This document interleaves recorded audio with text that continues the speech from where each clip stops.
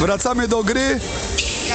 Puchar Śląska, mecz o piąte miejsce, 55 sekund, 68-67 prowadzą zawodnicy w posiadaniu piłki Kakabytom, ale strata.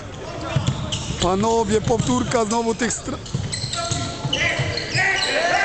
I jednym dla Gliwic. 69-68.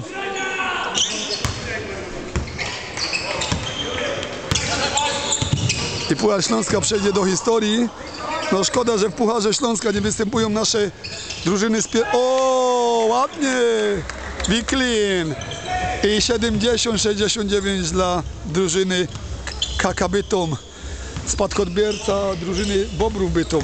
Ale to całkiem inne drużyny i całkiem inny poziom. Ale kto wie, może pomalutku KK Bytom wróci do Ekstraklasy? Tym bardziej, że jest, jest doświadczony Mariusz Bacik. 8 sekund, 7, 6, zdążą, 5, 4, 2, 1. Nie zdążyli.